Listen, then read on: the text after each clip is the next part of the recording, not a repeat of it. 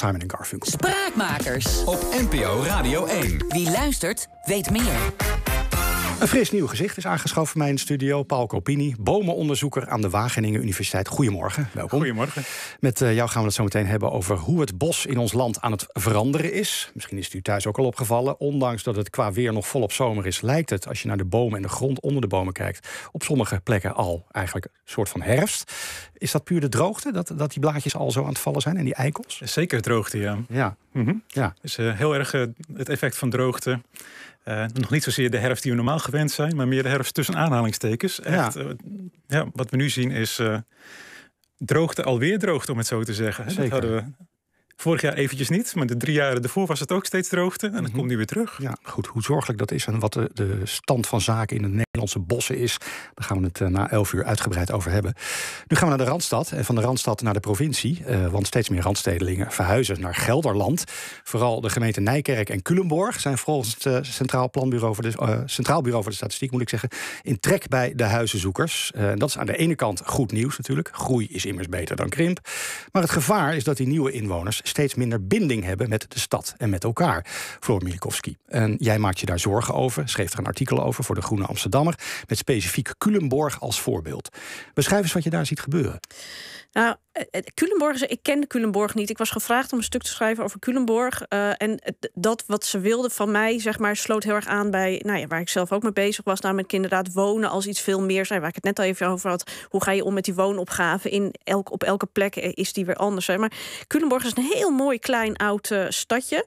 Uh, gebouwd heel De kerk heeft daar een hele prominente rol ook altijd gehad. Het onderwijs, ook kerkelijk onderwijs, heeft daar altijd een hele prominente rol gehad. Het is een hechte gemeenschap altijd geweest. Ja. En het is in de loop der decennia in de periode na de Tweede Wereldoorlog vrij snel uitgegroeid. En er zijn een aantal relatief voor Culemborgse begrippen grote uh, nieuwbouwwijken omheen gebouwd. Met ja. liefde en mooi gedaan hoor. Ik vond echt als planoloog, ik ben sociaal geograaf ook planoloog, echt een aantal wijken echt met bewondering naar gekeken hoe ze dat gedaan hebben. Uh, maar je ziet dat dat gaat steeds verder. Dus de laatste, de nieuwste uh, nieuwbouwwijk, Parijs heet die, met de SCH, mm -hmm. ligt heel dicht bij de snelweg. En de snelweg die ligt uh, heel dicht bij uh, Utrecht. Die is binnen no time ben je in Utrecht of in Den Bosch. Ja. Het is zo'n de meest moderne variant nieuwbouwwijk. Grote eengezinswoningen, twee onder één kap, vrijstaan. Soms ook wel rijtjes, maar groot, weet je. Het idee van we moeten allemaal een groot huis hebben. Grote auto voor de deur, grote tuin voor en soms ook achter. Hè, Ja. Twee. Um, en openbare ruimte staat in eigenlijk steeds meer nieuwbouwwijken best wel onder druk. Gewoon het hele idee van, ja, je moet ergens wonen, uh, maar uh, je moet ook ergens uh, elkaar kunnen ontmoeten. Je moet kunnen buiten spelen. Ook, weet je, voorzieningen, hè, dat, dat wordt ook steeds minder in nieuwbouwwijken op een, op een fijne manier aangelegd. Dus je ziet, het wordt steeds meer een obsessie met je bouwt eigenlijk op een lucratieve manier, op een aantrekkelijke manier. Op het eerste gezicht bouw je fijne woningen. Nou, die verkopen voor grof geld. Ja. Um, maar je ziet dat daar de binding van zo'n nieuwbouwwijk met in het geval van Culemborg, dat oude stadje, Ja. wordt steeds minder. Ja. Um, uh, want inderdaad, mensen wonen in Utrecht vaak. In Culemborg is niet zo heel veel werk meer. Um, dus het raakt een soort van een Wouter Veldhuis, de uh, Rijksadviseur, die, die had het over: je wordt een waterhoofd. Dus de omvang van Als je stad als dorp als, dorp, ja. als stadje. Dus de omvang van je stedelijke samenleving is eigenlijk te groot voor dat wat je als stadje eigenlijk te bieden hebt hè, of bent. Dus de kern van dat stadje raakt uitgehold, omdat iedereen Hm. steeds meer gericht raakt op grotere steden in de buurt. Ja. Dus ook de verenigingen staan onder druk. Nou ja, de kerken. Ik, ja, het blijft de tragiek van de kerk is denk ik eh, het verhaal misschien wel dat vertelt wat er natuurlijk uh, in deze samenleving gaande is. Hè. Terwijl ik ben ik ontkerkelijking. Ik, ik, ik zal op zich geen tranen om laten. Maar het Ja. feit dat mensen die binding niet meer Ja, met precies. elkaar, het gemeenschapsgevoel. ja. Ja, dat zie je dat heel erg onder druk staat. En in een stadje als Culemborg is dat heel mooi zichtbaar. Maar het is een verhaal dat overal in dit land speelt. En we hadden het er net al over. Welke Ja. lijnen zijn er nog waarmee we met elkaar verbonden zijn? En ik als sociaal geograaf en planoloog en als liefhebber van stedelijke ontwikkeling, ruimtelijke ontwikkeling, zie dat heel sterk terug ook in ontwerpen van, van openbare ruimte. Ik moet zelf meteen denken aan, eh, aan eh, Amersfoort bijvoorbeeld. Heb je ook van die enorme wijken, Precies. toch? Waar, Nou dat... dat- heeft niks meer met de kern van Amersfoort Nee, te dus dat Vathorst, die, die. Phoenixwijk en net als Leidse Rijn, gigantische eh, nieuwbouwwijken, echt. Ja. hè, die inderdaad, nou ja, Wouter Velders noemde ook Amersfoort bij uitstek als dat waterhoofd. Hè, inderdaad, dat is gewoon te groot geworden voor dat aantrekkelijke kleine stadje dat het was. Dus je bent niet meer een aantrekkelijke kleine stad, want daar ben je te groot voor. Ja. Maar je bent ook geen grote stad, want daar heb je de voorzieningen en de, en de economische kracht niet voor. En daardoor zie je dat inderdaad, als er geen binding meer is met iets, waar ben je dan nog wel mee verbonden? Dus als je niet verbonden bent met, met, met wat voor vereniging dan ook, met wat voor gemeenschap dan ook, met je buren steeds minder hè, in je grote huis. Je schrijft dus over Culemborg dat de Damvereniging is verdwenen en de Canarie- en Exotenvereniging. Dat denk ik, maar dat denk ik wel dan een beetje van ja, dat is misschien ook niet meer helemaal van deze Precies, tijd. Precies, dus dat is ook de tijdgeest. En, en ik vond het gewoon, ik, ik, ik hou gewoon van dat soort dingen als de Canarie, de Exoten en Canarievereniging. Ik wil dat er heel graag in. Maar ik snap dus natuurlijk, wel, dat, dat is de tijdgeest. Maar de vraag is meer, wat komt er in de plaats voor die gemeenschapszin die verdwenen is geraakt? En ja. ik denk best wel vaak aan, toevallig las ik een keertje een, een, een, een kersttoespraak van Beatrix terug, een half jaar geleden of een jaar geleden, uit 1992. Um, en dat toen zei zij iets van een, een, een samenleving waarin iedereen alleen nog maar bezig is met, met, met het individu, is Mhm. gedoemd om op een gegeven moment ineen te storten. Ik weet niet meer Ja. precies letterlijk haar woorden. Zo En daar zijn we het. hard naar op weg. Nou ja, en dat is natuurlijk, ik weet, ik ben, ben 42, ik weet niet anders dan dat er gewaarschuwd wordt voor verdergaande individualisering en de gevolgen die dat heeft voor een samenleving. En ik heb Ja. altijd gedacht, ik geloof dat heel erg, want je ziet het natuurlijk, maar ik heb altijd gedacht, hoe gaat dat er nou precies uitzien, zo'n samenleving die dan echt onder druk komt te staan? Mhm. En dat zie je nu, die enorme verwijdering van mensen met elkaar, mensen die geen begrip meer hebben voor elkaar, mensen Ja. die zich terugtrekken in hun eigen bubbel. En dat is omdat we elkaar eigenlijk nergens meer ontmoeten. Ja, het is heel makkelijk om elkaar niet meer te ontmoeten als je daar geen behoefte aan Ja. hebt. Aan de andere kant, eh, er moet gebouwd worden. Hè? Bouwen, bouwen, bouwen. Je zei dat zelf ook al. Eh, we hebben een enorme woningnood in dit land. Dus er moet gewoon flink eh, de woningen uit de grond gestampt moeten. dat is wat er moet gebeuren. En dat kan moeilijk in het oude stadshart van Culemborg. Nou, deels kan het ook in het oude stadshart Wel? van Culemborg. Want in het artikel schrijf ik juist ook over een kerk die daar leeg komt te staan, die getransformeerd wordt, Ja. deels tot woningen. En goed, dan heb je, wat is het? Heb je Culemborg. 50 woningen erbij? Ja, en toch zijn die kleine aantallen vaak. Want mijn Hm. artikel gaat heel erg over dat die bouwlobby, hè, met z'n bouwen, bouwen, bouwen. We moeten 1 miljoen woningen, Ja. het liefst in de weilanden, want dan gaat het lekker snel. Nou, ten eerste is dat totale lariekoek. Want bouwen in de, in de weilanden kost ontzettend veel tijd en geld. eh, omdat de infrastructuur, de, de, de boeren moeten worden uitgekocht, de grond moet bouwrijp gemaakt worden. Ja. Er moeten wegen, spoorlijnen, buslijnen, weet ik wat aangelegd worden. Er moeten winkels, voorzieningen, zwembaden, eh, scholen gebouwd worden. En de woningen moeten ook nog helemaal gebouwd worden. Dus dat gaat super langzaam. Dus bouwen in een bestaande buurt gaat vaak relatief sneller. Ja. Want daar zijn al die voorzieningen en al die nuts. eh, de- weet je, de infrastructuur ligt er al helemaal. En bovendien merk je gewoon heel erg dat er. En daar gaat Culemborg, gaat dat stuk gaat er ook heel erg over. Elke plek heeft zijn eigen specifieke woonopgave. En als je gewoon kijkt naar elke gemeente in Nederland, dan weten die gemeentes altijd precies of ze jongere woningen nodig hebben, of ze Ja. oudere woningen nodig hebben, of ze gezinswoningen nodig hebben, of ze, eh, nou ja, wat dan ook, het maakt niet uit. Sociale huur, middenhuur, koop. Elke gemeente weet precies wat er nodig is. En wat ze vaak willen, is eh, meer financiële ondersteuning om dat te realiseren. Ja. Wat ze willen is expertise om juist transformatie van een bedrijventerrein bijvoorbeeld. Dat zijn heel veel plekken in Nederland waar daar gewoon mogelijkheden voor zijn. Maar het vraagt enige specifieke kennis en die is wegbezuinigd bij heel veel gemeentes. Gemeentes hebben weinig geld vaak. Dus zoals in het geval van Culemborg zei de wethouder ook: wij weten precies wat we willen. Wij willen juist in die bestaande stad meer ook gaan bouwen. Wij willen oudere woningen specifiek gaan bouwen, zodat die doorstroom op gang komt Ja. Zodat er gezinswoningen weer vrijkomen voor die gezinnen. Hè? En ik, ik citeer ook eh stedenbouwkundige en architect Jan de Manting, onwijs leuke visionaire eh, en, en, en goed ontwerpende eh stedenbouwkundige en architect. Die schrijft: We zijn zo ontzettend bezig met het huisvesten van spullen in plaats van het huisvesten van mensen. We zijn aan het Nou, van bouwen. mensen in hun omgeving ook. Toch? Ja. In relatie tot hun omgeving. Ja, dus, dus ze zegt, hoeveel heb je eigenlijk nodig als mens? Nou ja, we zijn in Nederland met 65 vierkante meter gemiddeld per persoon. Gemiddelde zijn Dat is heel veel, toch? superveel. Staan we in de top van de wereld. En dus het aantal vierkante meters dat we hebben is eigenlijk helemaal niet speciaal te weinig. Maar we moeten veel slimmer omgaan met hoe zorg je dat die vierkante meters die bestaan misschien weer worden aangepast, getransformeerd tot dat, dat wat we nodig hebben. Hoe zorg je dat die doorstroom op gang komt? Hè? Want het feit dat we ouderen langer thuis laten wonen is een hele bewuste keuze natuurlijk geweest zorgkosten te drukken. Ja. Ook. Maar ja, iedereen had dus toen we dat deden, 10, 15 jaar geleden, toen we dat besluit namen, kunnen uittekenen dat dat zou leiden tot enorme druk op de woningmarkt. Want er komen minder woningen beschikbaar. Dus er zit, als je het slim nadenkt, en, en daar gaat het artikel over Culemborg, eh, dat gaat veel breder, dat gaat eigenlijk over alle gemeentes. Het College van Rijksadviseurs heeft een heel mooi onderzoek gedaan dat je in bestaand stedelijk gebied honderdduizenden woningen kan bijbouwen. Nu nog, hè? Hm. Eh, KAW-architecten, een heel leuk architectenbureau met Rijmar van Meding als directeur, heeft ook onwijs mooi onderzoek gedaan. Ruimte zat in de stad. Waarin heel mooi hij laat zien dat je inderdaad in die bestaande steden, vooral in de buurten uit de jaren 50, 60, 70, heel veel ruimte om nog bij te bouwen. Met ook nog eens het versterken van die lokale buurten en van die, van die lokale gemeenschappen. Want dat is uiteindelijk waar, waar eh, in jouw pleidooi waar je naartoe wil. Dat, er meer, dat mensen meer binding hebben, toch? Met de plek waar ze wonen ook. Waarom is dat eigenlijk belangrijk? Is dat, als ik hem even doorredeneren, Ja. zou je dan een minder gepolariseerde samenleving ja, hebben? absoluut. En, Ja? en, en eh, het is natuurlijk een heel beke- bekend gegeven dat als je contact hebt met iemand die anders is dan jij, dat je er meer begrip voor hebt. Ja. Dus, en dat is een heel simpel, eh, zolang als de mensheid bestaat of, of, of er leven op aarde bestaat, is dat een vanzelfsprekend gegeven. Iemand Hm. die je niet kent, die je denkt, oh die is gek, die is anders, die is vreemd. Je komt ermee in contact en blijkt je allebei mens te zijn en toch meer overeenkomsten vaak te hebben dan, dan Ja. verschillen. Ehm, en door inderdaad, weet je, de klassieke Europese stedenbouw, als je kijkt naar een stad als Rome of Parijs, hè, ehm, dat met de pleinen en de hofjes en de straatjes en de, en de steegjes en de lanen, Ja. is helemaal gericht op ontmoeting en op kruisbestuiving, op het mengen van functies, het mengen van type mensen. Weet je, het oude Forum, het oude Agora in Griekenland was gericht op het mengen de bevolking en de politiek Ja. en de handel. Het kwam allemaal met elkaar samen. We hebben het allemaal uit elkaar getrokken. Ja. Iedereen Wonen is echt een apart ding geworden eh, in, in zeg maar een beetje onpersoonlijke woonwijken. eh, waarin het heel prettig toeven is waarschijnlijk. Maar waarin je verder niet contact hebt met je omgeving. Eh, dus meer, dat is eigenlijk het pleidooi. eh, meer openbare ruimtes waar mensen Ja. elkaar ontmoeten, toch? En publieke voorzieningen.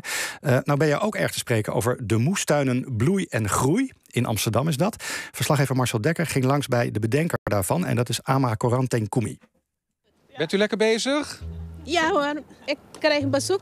Oh, u krijgt Mijn dochter komt. Ja, Kijk hoe mooi uw tuin erbij ligt. kom, ze komt mijn tuin zien. Ama, drukte van belang in de moestuin, ingeklemd tussen de flatgebouwen in de Bijlmermeer. Voor 2017 was dit echt een totaal andere plek. Klopt, inderdaad. Het was eigenlijk een afgesloten terrein omdat eh, ja, het eh, zogenaamd maar onveilig was. Dus eh, het was braak, braakliggend hier, er werd er niks mee gedaan. Eh, totdat wij de vraag van een bewoner kregen... oh, hoe mooi zou het zijn om hier ook zo'n groene oase voor vrouwen in de buurt maar te creëren. En zo is het begonnen. Ik ben als eerste die hier kom, want die tomaten zijn verrukkelijk, meneer. Ik ben verslaafd aan. Ja, bent u verslaafd aan de tomaten? Ja, weet je waarom? Deze is gezond. Ik, dat is goed voor je binnen, weet je wel, gezond. Terwijl de vliegtuigen overscheren, Ama, en we voortdurend worden aangesproken door mensen die hier aan en aflopen. Dit is eigenlijk ja, wat we hier zien. Hè? Mensen die met elkaar praten, eh, grapjes maken, bezig zijn met die tuin. Dat was precies wat jij ook voor ogen had toen je die eerste tuin begon. Hè? Klopt. Kijk, hier, dit, dit, is soms zo, dit is om zo blij van te worden.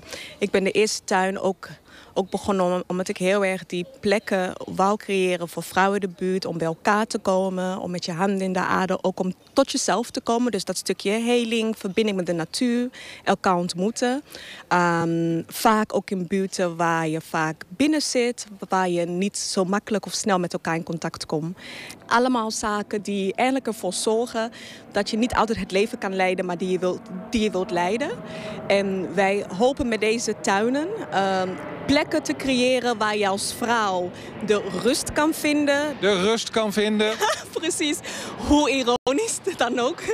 Ehm, ja, de rust, eh, contact met elkaar. ehm, eigenlijk de, de skills en de vaardigheden leren om je eigen voedsel wat te verbouwen in een tijd waar eh, toegang hebben tot gezonde voeding ook niet altijd evident is. Ja. We zijn al aan het oogsten, hè?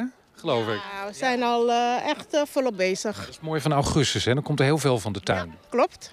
En dat kun je ook zien eh, wat er op tafel ligt. Komkommers hebben wij hier. We hebben twee verschillende soorten bonus hebben we daar zo. Eh, we hebben broccoli. Het is natuurlijk wel een droom om nog meer vrouwen te bereiken. Dus ook om, ook om nog meer van betekenis maar te kunnen zijn. Dus, ja, wij willen heel graag meer tuinen. En we krijgen ook steeds meer de vraag landelijk. ehm, ook dus om een bloei- en groeituin op te zetten in andere steden. Dus wie weet. Mooi initiatief. Je hebt wel de samenwerking nodig, natuurlijk, van in dit geval eh, woningcorporaties, die dan deze grond ter beschikking stellen. Gemeenten. Eh, hoe zit het daarmee? De gemeente is ook de eerste die met ons initiatief pronkt.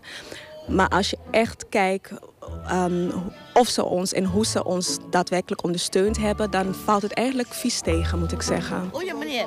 Ja, heb je al mijn tomaten nu opgemaakt? Oh nee. Hoeveel kost dat? Neem maar maar. Hè? Cadeautje. Je bent een schat, dankjewel. Ja, alsjeblieft meneer. Geniet ervan. Aan de ene kant een uh, veel geprezen project voor Milikowski. Aan de andere kant uh, wordt het haar niet gemakkelijk gemaakt. Om nee, dit, om zeker. Dit, uh, om dit voor elkaar te krijgen. Nee, dat klopt. En Ama Corentin is echt een hele bijzondere vrouw. En in mijn boekje Wij zijn de stad schrijf ik ook uitgebreid over haar en, en bloei en groei. En het is er niet één. Het zijn er inmiddels echt best een, een flink aantal in Amsterdam... waarmee ze honderden vrouwen bereikt. Um, en in dit geval, deze tuin waar het nu over gaat in Vensterpolder... Um, daar staat een gebouwtje, een oud voormalig kinderdagverblijf... in die binnentuin dat al jaren leeg stond... Um, en zij is daar dus die tuin begonnen met die vrouwen uit de Ja. buurt. Hè. En ik heb altijd gedacht, moestuin, pff, een beetje leuk en aardig. Maar het Mhm. stelt natuurlijk in wezen niks voor. Nou, ik zag een hele mooie documentaire gemaakt. Ik ben er ook een paar keer geweest. Je ziet dat het echt werkelijk groot verschil maakt in, in het leven van mensen. Ja. Ehm, dat gebouwtje, dat gebruikten ze voor cursussen, voor koffie en thee. Voor verja- als er een verjaardag was, nam iemand taart of eten, wat dan ook mee. Dat was best, nou ja, de ontmoetingsplek ook in die tuin heel erg. Hè. Het was eigendom van de gemeente, is het nog steeds. En AMA die heeft jarenlang, vanaf het moment dat ze daar neerstreek, gevraagd aan de gemeente om te kunnen huren. Gewoon voor normale prijzen. Niet gratis en voor niks, gewoon voor normale prijs. Ze kregen eigenlijk nooit een reactie. Nou, ze zijn dat gebouwtje bleven het gebruiken. Nou, toen kwam op een gegeven moment Femke Halsema, de burgemeester. Ze kregen een erepenning. En een aantal andere vrouwen uit Venspolder kregen ook een erepenning. Allemaal leuk en aardig. Maar een aantal maanden later moest Ama Corentin zelf in de krant lezen dat ze dat gebouwtje wel moesten inleveren, grotendeels. Ze moesten gaan delen met de buurtrechter en, en de wijkteams. En dat zijn dat ook goede initiatieven. Maar dat hele idee van deze veilige oase voor die vrouwen in de Vensterpolder, die echt best wel zware, heftige levens hebben, waar Ja. eh, mannen niet altijd de meest positieve rol in spelen, zal ik maar zeggen. Ehm, die, die oase die wordt daar best wel daarmee, eh, nou ja, dat gevoel van veiligheid wordt daar best wel doorbroken. En dat vind ik heel typerend voor, weet je, ook de gesprekken die we vandaag weer hebben. We willen allemaal zo graag, eh, het onderwijs moet weer beter, en Ja. we moeten de polarisatie tegengaan en we willen zo graag dat mensen in de moestuin tot bloei komen. Maar het mag geen geld kosten. Dus het moet allemaal wel binnen de, onder de streep moet het allemaal wel tot groene cijfers leiden. En dat is iets waar ik me steeds meer tegen verzet, omdat ook die openbare ruimte, die is er steeds minder, omdat het gewoon in de grondexploitatie geld kost eigenlijk, want ja, je kan er geen huis bouwen. Um, en het hele idee van een samenleving moet geld opleveren. En natuurlijk hebben we geld nodig en we moeten economisch uh, vitaal zijn. En Dit dat is dan weer een beetje gek genoeg in de, in de, in de geest van Bram Peper. Hè? Die zei, ja, soms, soms zijn dingen gewoon even duurder. Nou ja, en dat, als je moet dan ja, toch en- gebeuren. En als je heel simpel kijkt, gewoon wat is de basis van een samenleving? Dat is onderwijs, dat is zorg, dat is natuurlijk handel. Hè? Ik bedoel, dat is een eh, fundamenteel onderdeel van een, van een eh, florerende samenleving. Maar als je kijkt naar onderwijs, zorg, gemeenschapszin, veiligheid, afval, vuilnis ophalen. Als je kijkt naar een land dat in oorlog is geweest, waar beginnen we mee als we met Ja. onze wederopbouw? Dan begin je met onderwijs, zorg, veiligheid, groen, eh, eh, een, een samenleving opbouwen. En het is eigenlijk heel gek dat we weer terug zijn in die periode dat we, dat we zo gedacht hebben dat die fundamenten van de samenleving zo vanzelfsprekend waren en er vanzelf wel waren, dat we het helemaal hebben laten eh, Ja. verloederen. Die, ba die fundamenten van die samenleving, waardoor we nu ineens denken: hé, hey, eigenlijk moet je daar gewoon in investeren en willen we dat wel. En dat moet. Je, je kan niet, als je dat niet doet, dan eh, wordt het alleen nog maar Ja. extremer als het nu al is. Ja, er wordt gereageerd in de Radio 1-app. Ilse Tissink die heeft gereageerd. Die eh, woont in eh, Amersfoort-Vathorst en mist heel erg Utrecht ook de stad. Zegt, ja, ik ben, moe, ik ben hier eigenlijk dood eenzaam. En ik mis heel erg de ziel en de geschiedenis om me heen.